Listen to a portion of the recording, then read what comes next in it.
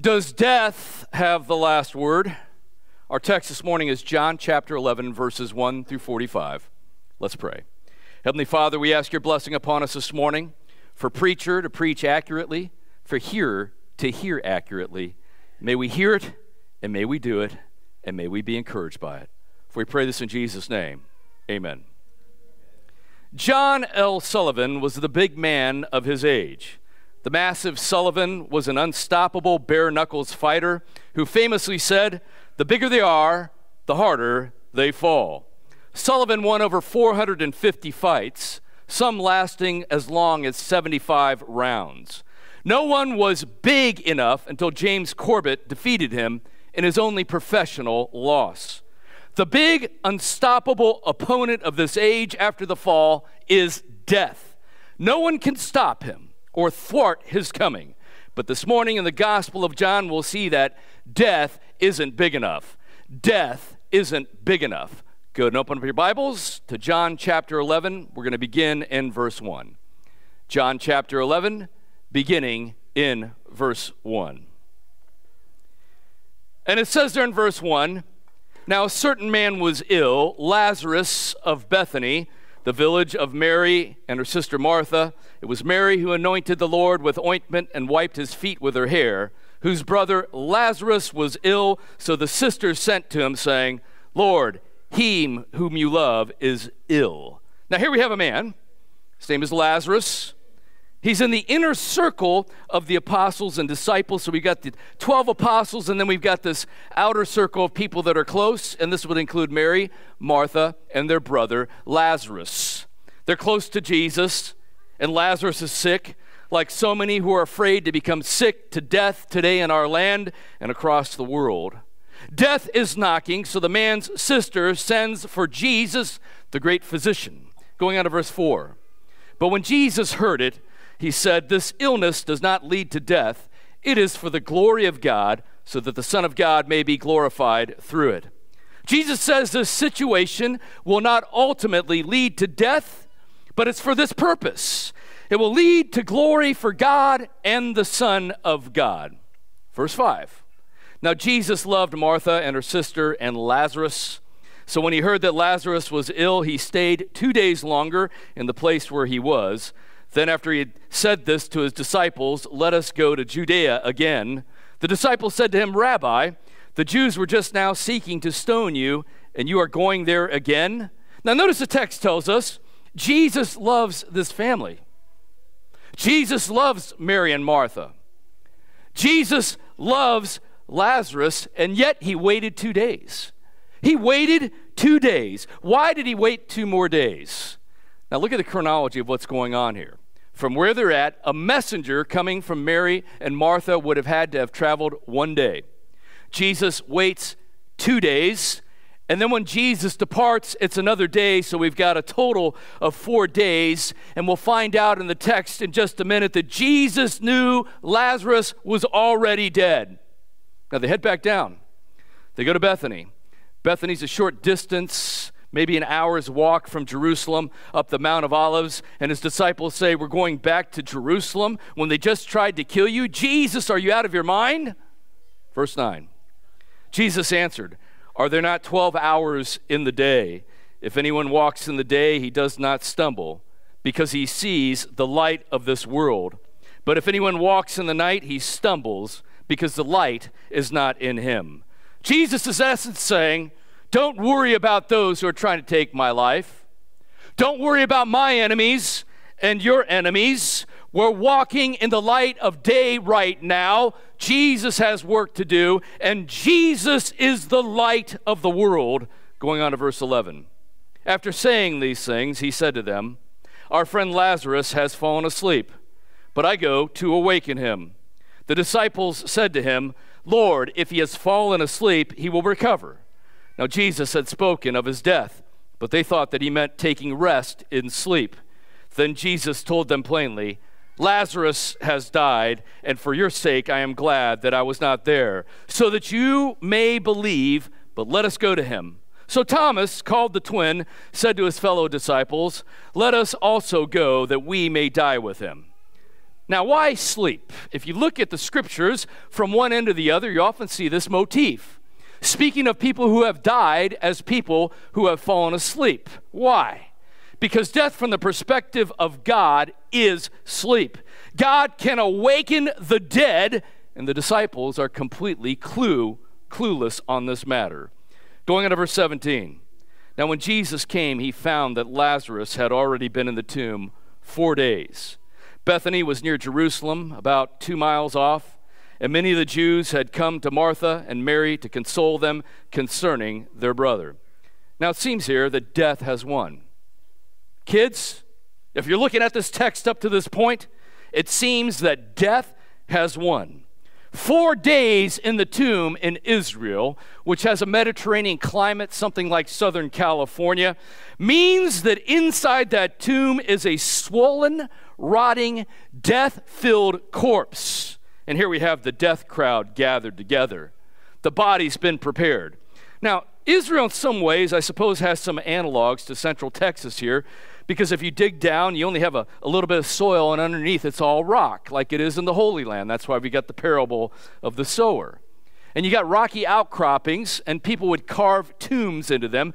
They made caves into the side of these cliffs, and then they would carve into that like a bench, like a little bed, into the stone. And then they would roll a stone over the front of the tomb. Now, death was very personal in the first century. They didn't have mortuaries, they didn't have refrigeration like we do. When somebody dies, you've got to prepare that body and move it into the tomb that very day. And so when Lazarus died, his friends and his family would have gathered together. They would have washed his body and prepared it for burial. They would have wrapped him in linen strips that was interspersed with paste spices so that he would look like a mummy. There would have probably been, because they were a people of means, hired mourners amongst the crowd, and they would have carried his body to the edge of town and placed him in a tomb. The body has already been washed and is interred, and the death crowd has gathered. Verse 20. So when Martha heard that Jesus was coming, she went and met him. But Mary remained seated in the house. Martha said to Jesus, Lord, if you had been here, my brother would not have died. But even now I know that whatever you ask from God, God will give you. Jesus said to her, Your brother will rise again. Martha said to him, I know that he will rise again in the resurrection of the last day. Martha believes that Jesus could have prevented death if only he had gotten here in time. Martha believes God can raise the dead, just not now, but at the final resurrection. Going on to verse 25. Jesus said to her, I am the resurrection and the life. Whoever believes in me, though he die, yet shall he live, and everyone who lives and believes in me shall never die. Do you believe this? She said to him, Yes, Lord, I believe that you are the Christ, the Son of God who is coming into the world. Now it seems that this question of resurrection has gone over her head a bit. Jesus is the resurrection and the life. Jesus is the resurrection and the life, and whoever believes in Jesus shall never die. Do you believe, Martha? Do you believe? Do you believe it, brethren? Do you believe that Jesus is the resurrection and the life? Going on to verse 28. When she had said this, she went and called her sister Mary, saying in private, The teacher is here and is calling for you. And when she heard it, she rose quickly and went to him. Now, Jesus had not yet come into the village, but was still in the place where Martha had met him. Now, Mary runs out to meet Jesus.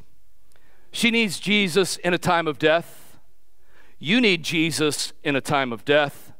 Verse 31 When the Jews were with her in the house, consoling her, Mary saw Mary rise quickly and go out. They followed her, supposing that she was going to the tomb to weep there. Now, when Mary came to where Jesus was and saw him, she fell at his feet, saying to him, Lord, if you had been here, my brother would not have died. Mary believes Jesus could have prevented death.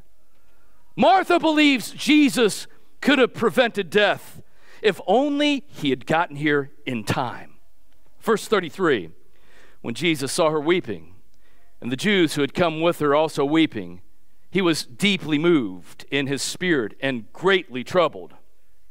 And he said, Where have you laid him? And they said to him, Lord, come and see. Jesus wept. Death troubles Jesus.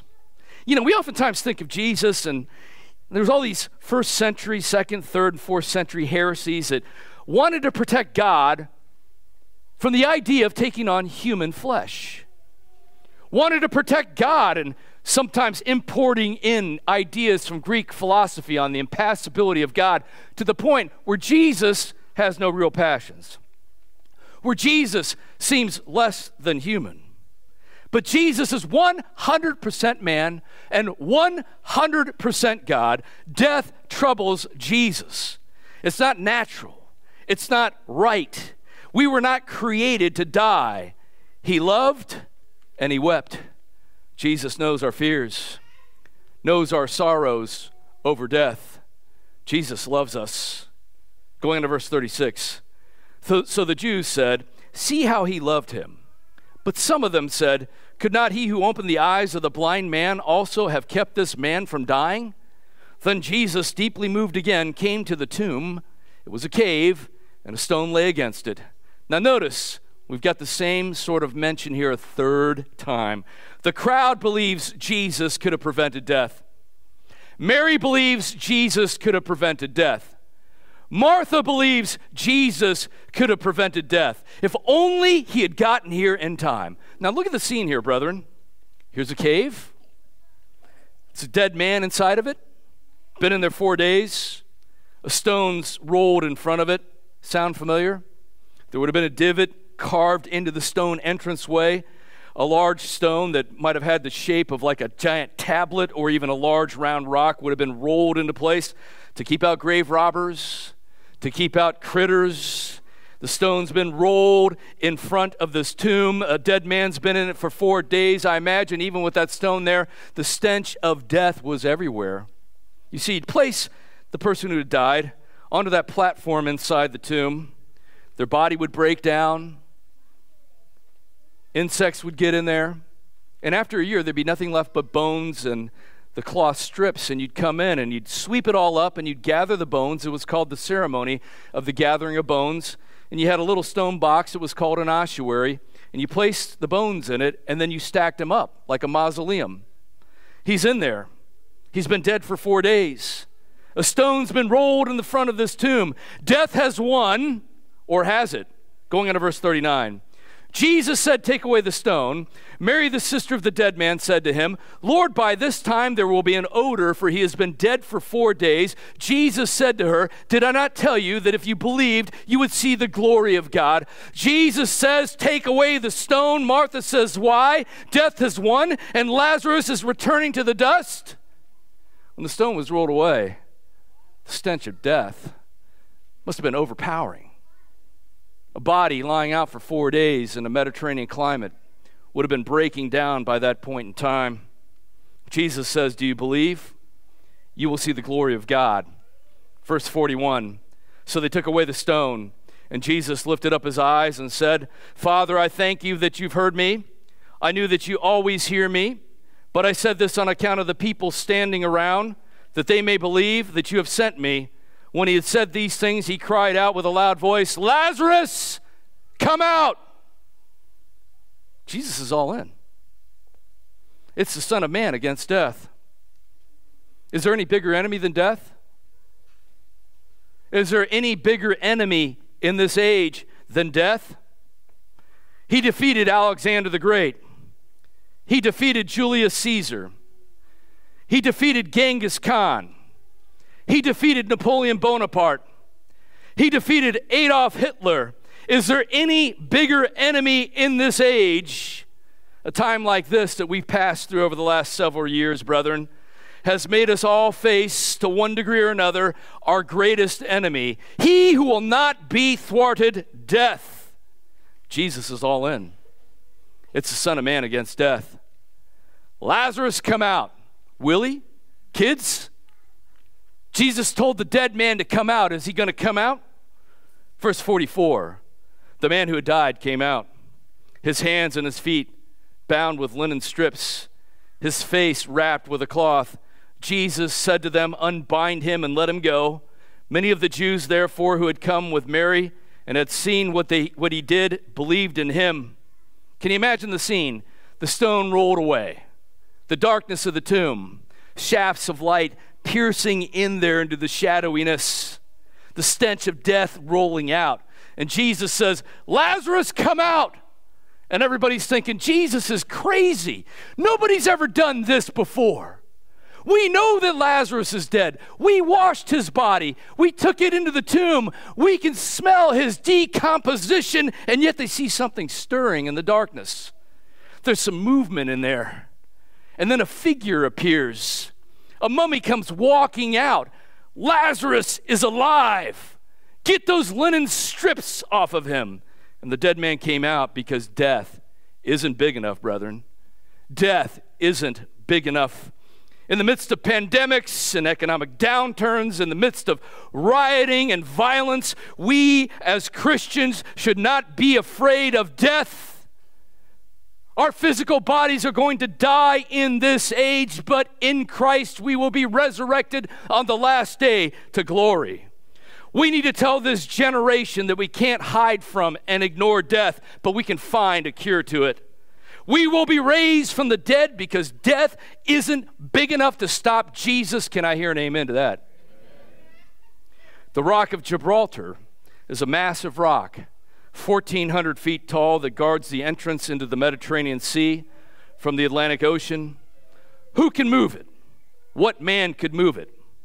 Standing at the end of human existence stands something else immovable that guards the limit of life death. Who can move it? What man could move it?